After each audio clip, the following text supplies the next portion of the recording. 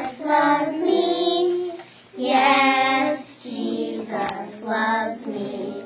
Yes, Jesus loves me. The Bible tells me so. Good job, guys. How many questions you can answer in this time? Okay? There is a front and a back.